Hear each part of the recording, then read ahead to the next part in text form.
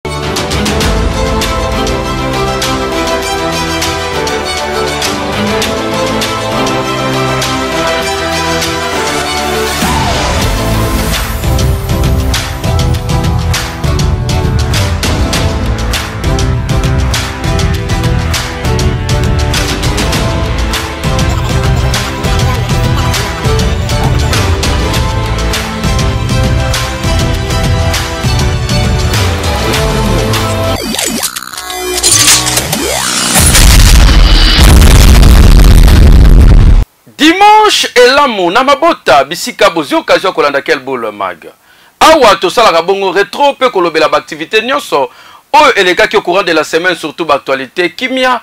ekontinue koumia na mabota na bino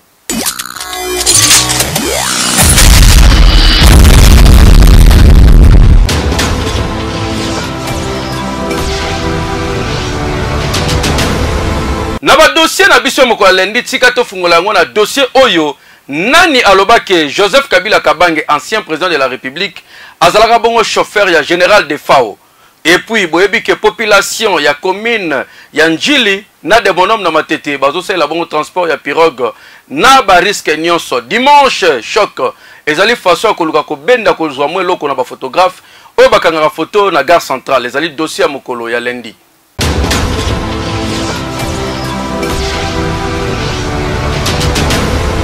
non nga kenda jamais exil ndenge nayebeli exil ya lokola motu moko toloba neti nafingi fumokusu sikoyo fo nakima nakimi na braza te me nga nabima awa na orchestre bamontana baali toke états-unis kobeta leur orchestre epanzani ya partir ya, ya, ya états-unis nazalaki so na moyen ya kosala te nabengisi groupe mosusu eye groupe wana lere ye fallait tozwa visa ya, ya visa na biso yaki ya 10 ans mais eza na koba bamontana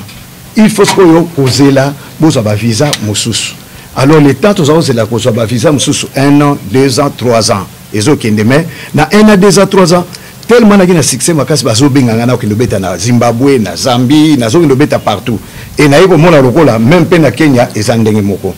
mais Kabila banda na botama na namona ye te banda na botama ti navandi lelo awa napela na ndako ya spirituel na namona ye na miso te wana 1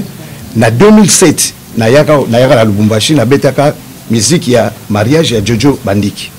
na 2010 nakendaka na ituri navanda kuna 8 mois naoleka bafrontière naleki mpe frontière ya aéroport ya, ya, ya, ya nilwano oyo ya lubumbashi e na temps nyonso navandi nazwaka passeport ya bacongolais awa na affaire étrangère sikoyo nayebi te exile yango ezala ndenge nini mpo nazoya nazobima nake na frontière na mabele nabimi sikoyo exile yango ya ndenge nini non atikala kozala chauffeur na ngai te mpo na vie na nga navanda jamais na tanzanie mpo balobaki yango ke ezalaki na tanzanie azokumba nga mais na vie na nga jamais navanda na tanzanie navandaki kaka na kenya na états-unis donc eh, à vrai dire nanu namona kabila te nanu nayebi ye te namona mpe ye te epuis aye na pouvoir ngai nazalaka na kini te ngai nabima na 98 ye aye na 2001 bosoki akumba ngai wapi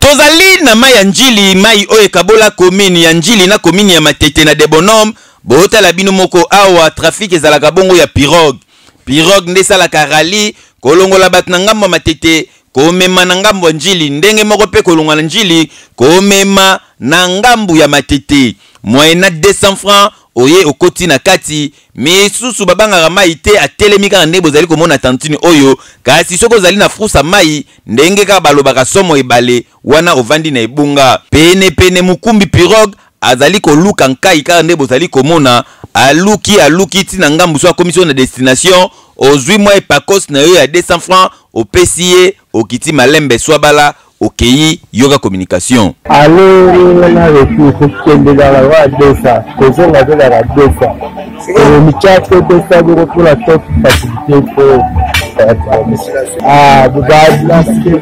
bakolo eza mabe batengaki tosali mbula eboti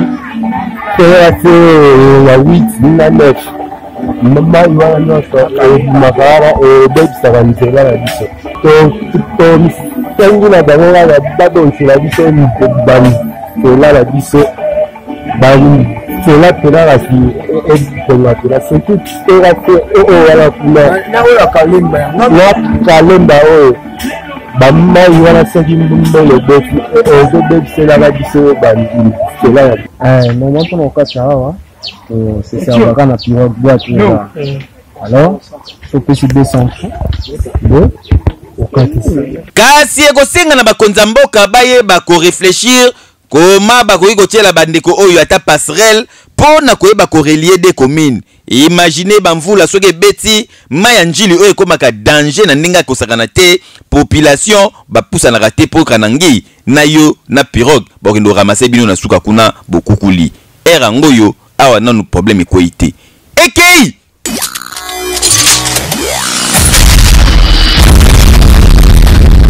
dimanche choc ezali journée ya récupération mpo na bacoopérant surtout baoyo bayaka mingimingi kosala article 15 mpe commerce na bango awa na gare centrale boyebi ke gare centrale ezalaki bongo érigé mpo na bafete ya noel na bonane ezwaki ampleur lokola ya kala te parce que couvre feu esalaki ke baentreprise mpe bastand ebele etyama te bacommerce ya mike mike nde batikalaki awa surtout bato oyo basalaka article 15 ya kokanga foto bango nde babandaki koduma me baleli couvre feu esalaki ke fete ya noel na bonane bakotisa pena te yango baprofitaki jour ya dimanche lokola baparin ebele mpo na bafete baboyaki koevite koya na bana kote oyo na bambouteillage lokola misusu bayaki na mituka te mpo na bacouvre feu bapreferaki baya na bana na bango mokolo ya dimanche na moi kokangisa bango bafoto awa na gare centrale ambiance eregnaki ya kosakana te entre baparent na bana bajeu ezalaki na place batopogan batiaki ndenge bana bazali kojoue kosakana bato ya foto bazali kokanga foto surtout ndeko akamwisaki biso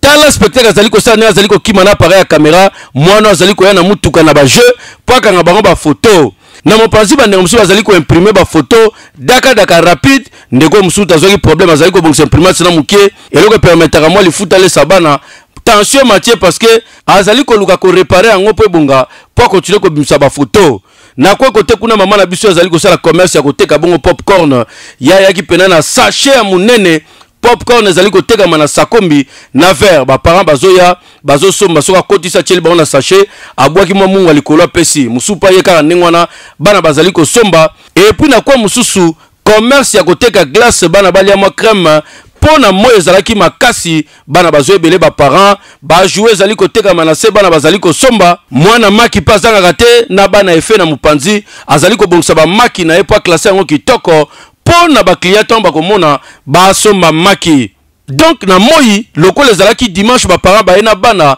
ba cop ezali kosalema commerce ezali koleka yoka bandeko bango moko mpe tour à tour ndenge ba communiquer par rapport ya mosala bazali kosala est ce que na bonane oyo ekotiseli bango mbongo to te yoka tour à tour ndeko buleke ebien ndenge nini couple fe bomobenga na population 21 ya tokomi loka bana na bango tokelelaka kwa na kati ya feti vemese ezala to auti mosika bakoya bakotala ntango kozonga bakokende ndenge nini na batransport ya lelo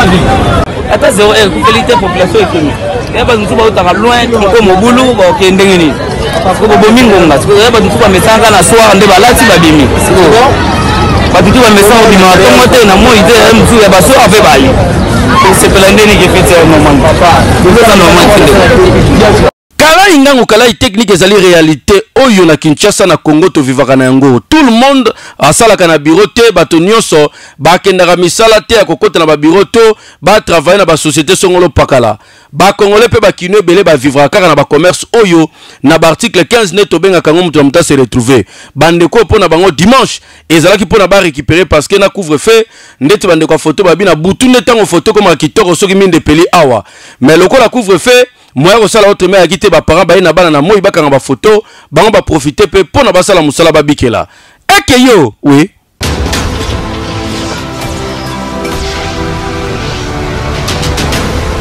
mardi totelemaki na bitumba oyo etikalaki moke ebima na kati ya assemblée nationale boyebi ke euh, ouverture ya session extraordinaire ezalaki somo mpo na likambo ya contrôle parlementaire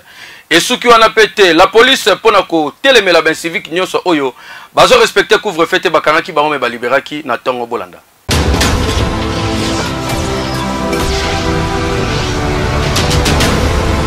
ndenge kaka ezalaki prévu plenière esalemi lelo na chambre basse ya parlement esika baélu du peuple bayaki mpo na ouverture ya session extraordinaire esika bakodebattre bongo basujet ebele oyo etikalaki bongo notre te na session ya septembre Kaka na ebandeli ya plenière boye, Honorable Gaël Busa azwi maloba mpo na kotalisa ba points to mpe ba matières nini bako traiter au cours ya session oyo. Abandi kotanga, atalisi que na kati ya session extraordinaire oyo, bako traiter mpe likambo etali controle parlementaire. Mbala moko mbala moko, honorable depute PPRD Didi Manara atelemi abandi kosala chambula oyo bozali komona mpo na kotalisa ke bango bazali d'accord te na point oyo mpo soki bameki kaka contrôle parlementaire ekosala ke bakotisa motion ya censure contre gouvernement Ilukamba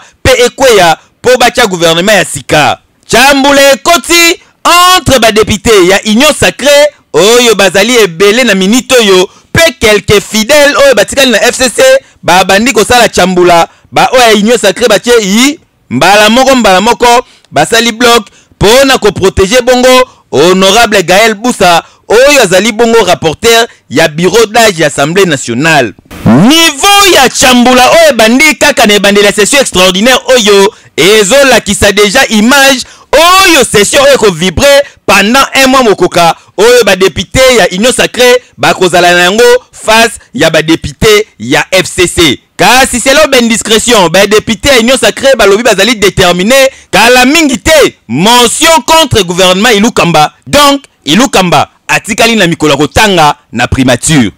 Affaire à suivre. Ekeyi!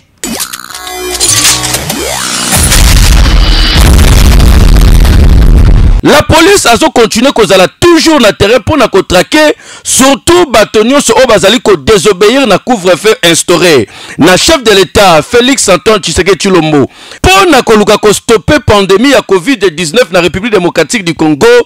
Yango la police ya Tshangu bazalaki na terrain na butu ya lobi mpo na kolanda mpe kotrake surtout mingi ba jeunes nde bakweyaki na filet. Bango bazali korespecte couvre-feu te mpe mingi bakomi na système ya kokota na kati ya ba boîte. na kati ya bwati soko komi 21 babengani bamituka me na kati kuna mama na ndule vie ezokontinue shushe ezofulama milinga likolo na babutei nde bozokonstate na kati ya bwate oyo tala bajeune ndenge bapresentaki bango devant presse na la police ya changu esika wapi alphonse landu oyo azali bongo major mpe porte parole ya la police ya ville province ya kinshasa azwaki ntan ya koconscientize bajeune nyonso mpo na koyebisa bango mpe kotalisa bango dangerosité oyo ezali na malade ya covid-19 yango esengaki na mokonzi ya mboka azwa mesure impopulaire oyo ya couvre-feu mpo na koluka koprotege mpe kobatela bakongolais nyonso ayebisi na bango basala effort barespecte oyo ezali bongo loi Pe mibeko surtout likambo ya couvre feu. Pourquoi koluka ko depasser heure ti ba 2 heures boza na kati ya boîte bozali komela. Sima ya kobenda bango matoyi yoka communication na ye. Malamu. Yoka mela. Nazoloba na lingala parce que biso nyonso tovandi na Kinshasa. Ndenge bino bovandi liboso na ngai eza esengo te mpo na biso bapolisier parce que botalisi ete boza ba inconscient boza bato oyo boyebi koraisonne malamu te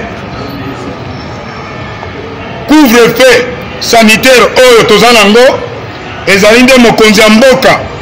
nde azwaki mitindo apesi mpo te polise ekoka kofaire respecte bamesure oyo ye ecouvre feu oyo ezali mpo na kolandisama maladi oyo tobengi covid-19 couvre mpe bakonzi balobaki ebanda na 21 heures ti 5 heures du matin kasi bino na mangongi 2 heures du matin 3 heures bovandi na baboite or na bisika oyo bakangi bino polisi ekangi bino na butu ya lelo nde bisika eza mabe mingi parce que boza ebele oyo etali respiration malamu te epuis rassemblement epekisami me bino boboyi koyoka yango wana nde bose retrouve awa tu wana bisika oke kosangana okende yango na ndako na ndako famille na yo moko mibale bakozwa yango soki yo bantikore eza makasi meme ndeko mosusu akokufa eloko oyo bosali bozongela yango lisusu te toyokani comme un beau père de la famille général silvano kasongo asengaki na major alphonse lando apres kopesa bango mateya balibere bajeune bazonga na bandako na bango tango ba ordonne liberation tala nde bazali kobima kiese mu yesu bato tu bazosepela bajeune ozomona ke misusu lobi bazalaki na mama na kwiti ya kosakana te ti bakangi bango na esika balalaki na migo bazoyeba na bango makambo ezoleka te na basi na mibali plus de 70 personnes mobimba tala bafio kutu bazobima bien kisema na kiduka bazosepela na bango ndeko bayebi eloko bazouti kosala te kokamwa ya solo Atako balalaki na la police mais papa mama bobenda bana na bino matoyi surtout ba jeune bayeba na ko respecter ngonga 21 heure balobi na ndaku eza na libanda te na bwati te na bar te kuna ozali kobina ozali komelaka bashisha na babiere ya ndenge na ndenge eyaka nini eke yo oui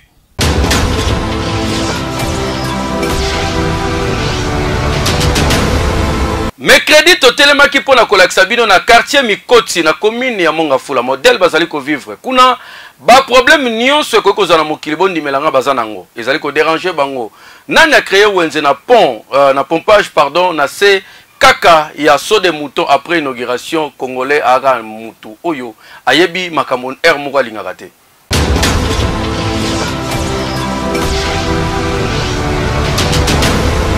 en première vue kotala okoimagine lokola toza na village to soki na kimbindangulu to wapi mais tozali na ville province ya kinshasa précisement na commune ya mongafula na quartier oyo babengaka mikoti awa ekipe ya kel boule mag ekitaki kuna mpo na kokonstate condition de vie kote oyo ndenge bandeko bavivaka bokoki koimagine te baza na baproblème nyonso ya mokili oyo bokoki kokanisa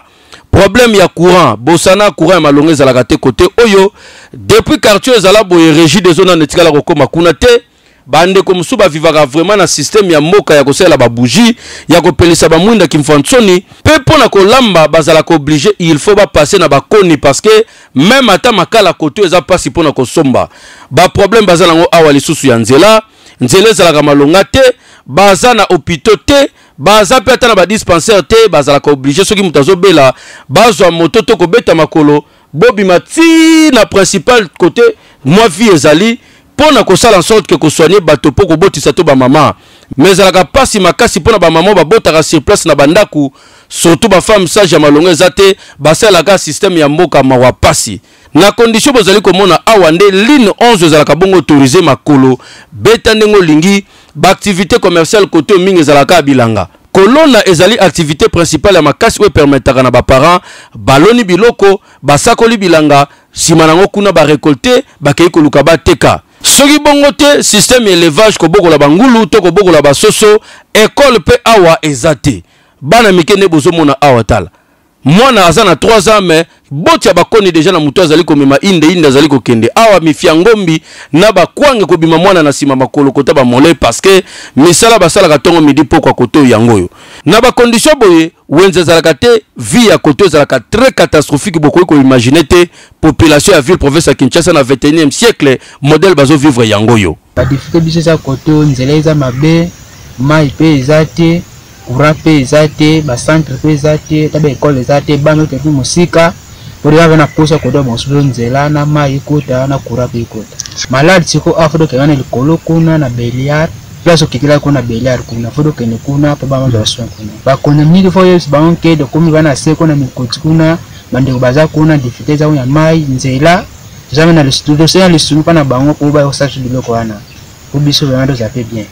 Situation oyo tomonaki na quartier Mikotsi na commune ya Monga Fula il faut interpeller beaucoup plus na bakonzi surtout ya politique baye bakozwa ba décision ya malamu mpo na kodeveloppe bakote oyo ezali bongo bakoin moko riro oyo ekosala en sorte que meme ata na centre ville bozali kovivre malamu mais bango mpe awa na balie rural boye bazala quand même na possibilité ya kovivre malonga mpo boye eya normal te eke yo Oui.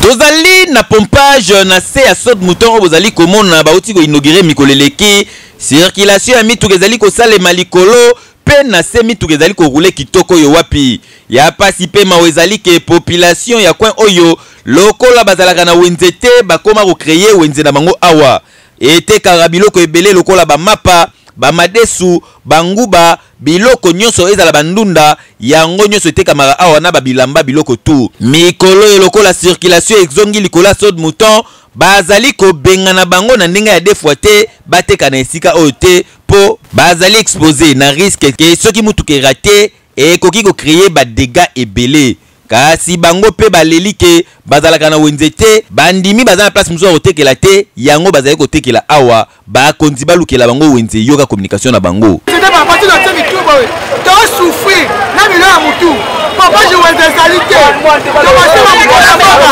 resoudre problème oyo toza yango toza ya wenze te papa oyo bazo solution to oyo bazo solution tokolonga balabala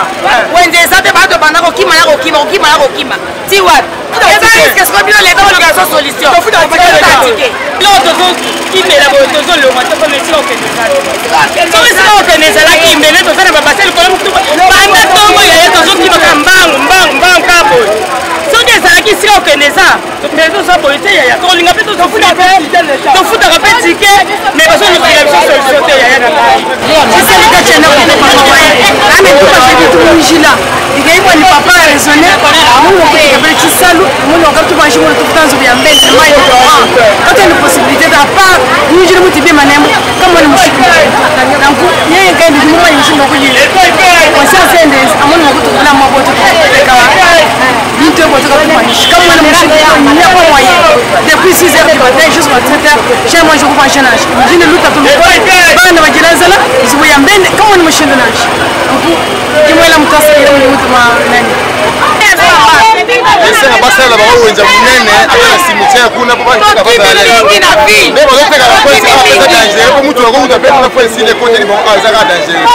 basala bango pwesa monene po bafuta pe batikela bango bakonzi ya mboka population to mpe bato bazali koteka na se ya sod moto basengi bino eloko se moko bosalela bango wenze moko ya dardar ya mbangu bakende koteka na bakondisio ya malonga mpo awa ezali danger permanent kanangi tokolela awa Ndenge moko na type ka. Heure yango oyo eh, mutu na akufi te.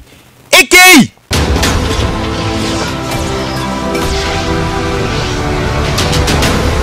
Jeudi tolakisaki bino bienfaisance mpe baaction philanthropique oyo winner asalaka apart kopesa bino konvwamisa bino na winner loto bakende kosunga bongo la police na plus de 10 sac ya semoule botala ndeko anyokolaka bato na koyiba mituka atikaka te bakangake bazongaka kangake bazongaka lelo azwami lisusu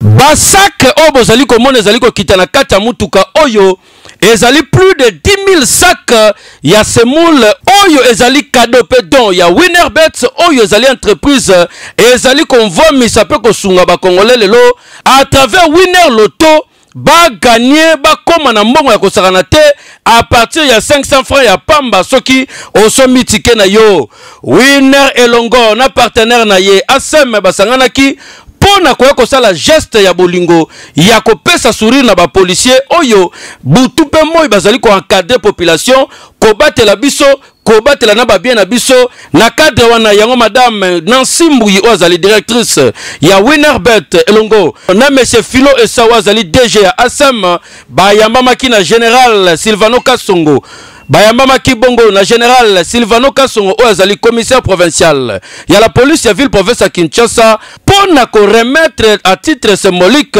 basak ya ba semulu oyo mpo na kosunga la police na biso na cadre toujours ba fete ya bonane na noel balia kitoko yo wapi na esengo wana la police azangaki te koremercie bango mpo na geste ya bolingo oyo ndenge na suka general silvano kasongo ye moko akominike omoni ko kokaba ezali momesano te bato nyonso bakabaka te bato ebele baza na mbongo me bakabaka te moto abimisa motuya ya mbongo ebele 10000 sac ya farine kopesa na police mpo na fete esalemaka te depuis biso toza eza mbala ya yambo tomona bato bapesi biso 10000 sac soki otali na équivalence ya dollar c'est plus de 100 000 dollar mokonzi ya mboka commandant suprême ya fardc na police apesanga mitindo ya koremercie bango kopesa yango matondi ke nzambe mpe abatela bango kote ya winner madame nansi mbuyi ye mpe abakisi boye d'abord tosali yango te kaka parce que corona eye oye obeta mais tokanisi bapolisier mpo na mosala nyonso bazali kosala euh, entreprise ata moko te ekoki koevolue na kimia ou bien komona baresultat soki polise ya mboka wana ezali kosala mosala te alors na cas na biso toremarke que effectivement la police ezosala mosala yango wana na compte ya bonne année oyo tolobi toya kosepela elongo na bango directeur général ya asm m philo esau ye mpe azangaki kocommunike te tovandaki totali tokanisi makambo nini mokonzi ya mboka aza kobeta ntango ya butu moi awa oyo etali bolingo entre bacongolais mpe bolingo ya mboka tomoni ke bato mingi babaloli miso na bango kokende komona bato ya bahopito banesesite wapi me moto moko akanisi polise aza te nde biso tolobi boye polise ezolala te soki toza na kimia lelawa eza mpo na polise butu moi kata kobanda kuna covid ezalaki te polise ya vile ya kinshasa eza kosala mosala kitoko na bokambami ya general kasongo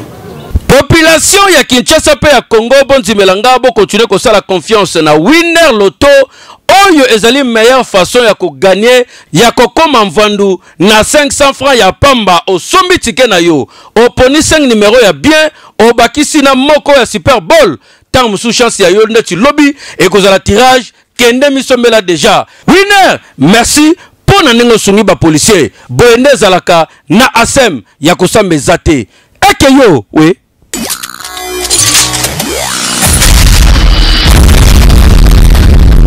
ndeko oyo bozali komona azali vraiment noko Kombo na ye Katembo Serge, specialiste ya koyibaka ba mituka ya batu. Ye akendaka bongo na ba ecole kote batu ba parkaka bongo mituka. Soki aye akuti o parke mutuka na yo, atali mouvement atali mouvement, amoni ke mutu azali te, abimisi ba cle na ye azalaka na yango ya passe partout, ameki. Soki kaka efongwami akoti, kanyanyanya, vroom, a demarrer. Akeyi nango ayibi yango ekomi ya ye. A evraka bongo na ba stade, na ba eglise pe ba lieu public esika batu bayaka bongo kotika mituka. La police ekangaka ye ba mbala ebele, soki bakangi ye batindi ye bongo na parquet, ba sambisi ye prison e wo. Après avoir kokota prison, ndeko oyo awumelaka te, quelque temps après bokokuta ye libanda kaka ndenge bozali koyoka temoignage na ye moko. Samedi ya date nini?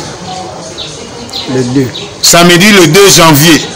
ya mbula oyo tokoti, n'est-ce pas? E voiture oyo oyibi yango mokolo nini? Lundi. Lundi. Oyibeli yango wapi? Na église. Église nini? Notre-Dame. Est-ce que makambo yo osalaka ça fait cinq fois tokangi obimi oyibi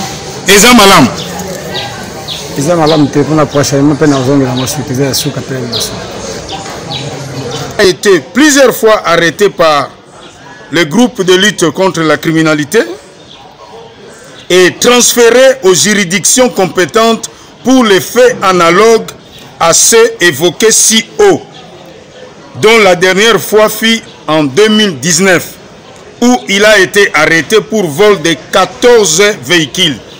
J'insiste, 14 véhicules. Ndeko Katembo Serge awutaki kokangama kaka na décembre oyo awutaki kobima le 2 janvier apemi le 3 le 4 ayibi lisusu ketch oyo ya rouge bozali komona nde la police ekangi ye e ndeko oyo azali vraiment bakanga bakraka bakanga balemba kasi la police elobi cette fois-ci ye moko akoti makambo oyo akolandela ye ntina suka eya normal te nani nde abimisaka tembo to mpe nani nde atindaka ye il faut bakonzi bafongola no misu ekosalama boye te ekei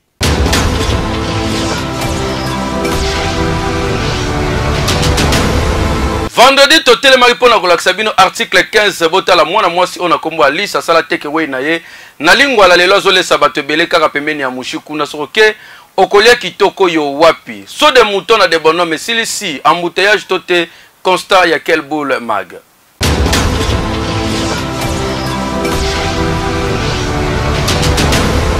kombo na ye madame alice ye na cadre article 15 asala tekewei oyo bozali komona mpo na kopermetre na bato Oyo balingaka kolia biloko ya ndenge na ndenge bayaka awa oye olie soki pe ozali presse osombi oke nango emporte kaka ndenge ezalaka atekaka bongo Thomson, brochettes, ba cuisses de poulet, ba saucisses, ba frites, ba legumes, bambinzo donc biloko ya ndenge na ndenge bato ebele bapreferaka koya kosomba biloko awa na mukie mukie madame alice azali kosala mpe kozwa azali kosorganize kovandisa structure na ye oyo mpo lobi akoma mpe femme d'affaires monene na rdc na ba travailleurs. Fast food oyo esika bazali kolamba biloko kitoko na proprete bazali korespecte bongo banorme yo moto olingi kolia biloko balambi kitoko ezala na ba aire tardive kende mosika te na croisement ya baveni isangi mpe mushi reference Hotel continental house oza mobimba osombi damas na yo soki emporte kaka yo soki kolia sur place kaka yo boye nde ezalaka ekei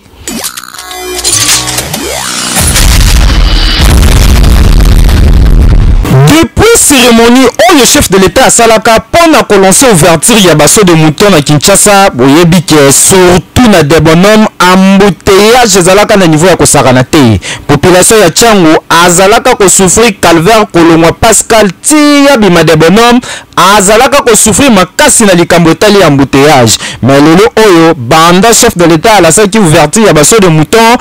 embouteillage e diminuer ndenge kaka bozali komona mituka eza koleka na kisela na niveau ya kosakana te embouteillage esili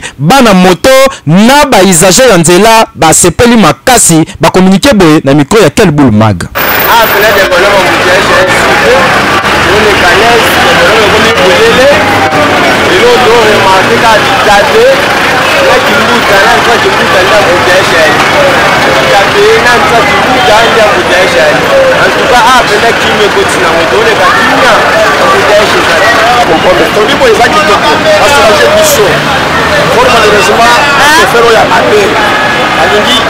astationne na niveau ya soki motoka mosusu azokotela awa na kati yango nde ezokoyika mwa moto ya jepe sino le passage libre asali biso de moto lasi oyo nde ezalaki na mbudage me ya mbudage nde sima moma nde esili me eloko nde ezali kosenga na bakonzi oyo bakali makambo ya nzela bamekala kolongola arre place oyo okamikoza na facilité okoti ebimi ya parti ya mbula ya arre oyo nde ezali okreye ambuteyage ndenge okreye osala nde balukua nde arre oyo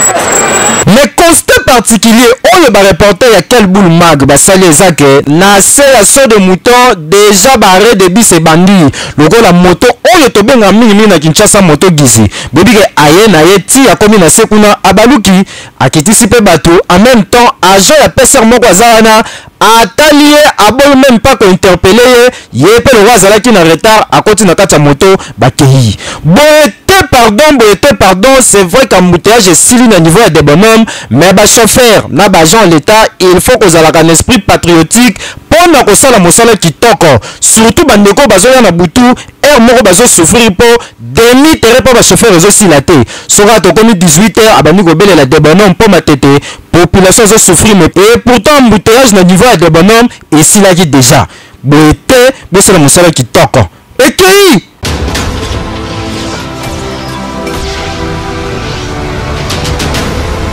Samedi totelemaki mpo na kolakisa bino zando na biso ya monene. Tofelisitaki bongo gouverneur De la ville Gentini Ngobila mpo na lumière oyo atie na coin mosusu ya ville ya Kinshasa surtout mpo na ba fete oyo decoration kitoko mais Kin Bopeto oyo ezali slogan mpe ezalaki bongo cheval de bataille ya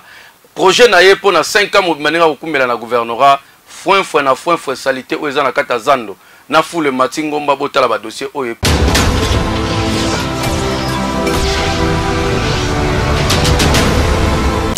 zando na tongo yango yo. tozali a plein centre ville na commune ya gombe awa na kinshasa soki mbula ebeti nde okoyeba elongi ya ville ya kinshasa ndenge ezalaka mabe nango nyonso ekobima na mpwasa adage ya français eloba après la pluie vient le beau temps mais awa na république démocratique du congo na kinshasa surtout après la pluie vient milelo kidilu na kidilu awa oblige tya makolo na yo nyata tambola na kati ya mai melange ya fulu basashe na mabele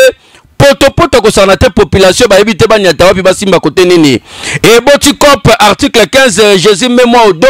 memanga na mokongo 500 fois mpo bakati ya mopanzi bamoto na pointe bazolia la bato ya pusu mpe baboti mayele ole bamema biloko bakomi komema bato 1000 francs car kutu ekosa ibera une minute oza na idee te na 1000 francs ma eloko tokamwa ezali ndeko na biso alongoli chaussure oyo azokende kuna azonyata malemalemba azokende aprefere kolongola sapatu anyataka na ye makolo ndenge bozomona azonyata boye aloke mai oyo eza sali te okoki konyata serenge lobi kuna lokolo evimbi maladi mosusu ebakisami na riske mpo kufi alo akokaki kokota na sapatu nde bandeko mosusu malgre na mapapa na balagombe azokontinue konyata bo oyo mpe eza kinshasa ntango mosusu chaussure ya bato adefaki aboyi efungwama na cole mpo cordonnier vema mpala ekokee baproblème ebele kosamba réalité yango na kati ya ville province ya kinshasa soki mbula ebetami mpo na bato mosusu ezali casse tete mpo ayebi ta konyata wapi mai mpo na bakopere botikwa mpo balia bato mbongo yoka communication naorekete makasi ndenge kaka zambe yango ekomi salite salite salite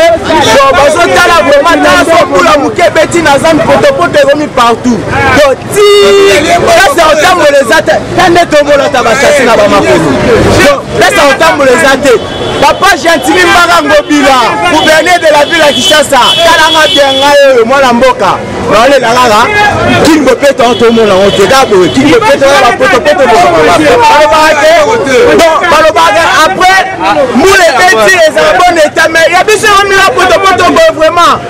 donc alukela biso solution atya baagent na ye bapotopoto elongwa vraiment tokoka vraiment te tomotambola na bachasse na bamakolo vraiment ce ne pas bien toa mpe na ville province ya kishasa capitale oyo eyebani monde entier sala boye kishasa mo yango oyo zando monene mbula ebeta ebeta te mai etikalaka permanent boye gouverneur de la ville gentini ngobila kini bopeto na yo ezali vaste escroquerie oyo ti lelo eloko ya malonga esalamaka te kaka na kati ya zando wana mama na monta na fulu ezokontinue kosalema mbula ebeti tala salite ya boye eya nini kino bopeto ya wapi eh, kokamwa we plaisir na biso ezali ke bino diaspora bozokontinue kosala biso confiance na etats-unis partout na Allemagne bozali na monde entier mobimba meme na Australie na Sydney bozo continuer kobenga biso pona kofelicite mpe mosala makasi tozali kosala mpe baentrepreneur nyonso ya congo oyo bafandi libanda mboka mingi basali biso confiance mpo na kosala promotion ya baproduit na bango tozozela mpe ya bino eya plus de 15 000 euh, vues par jour awa na congo euh, top news na youtube na biso awa na kinshasa na wichen de télévision tozali wana mpo na kokommunike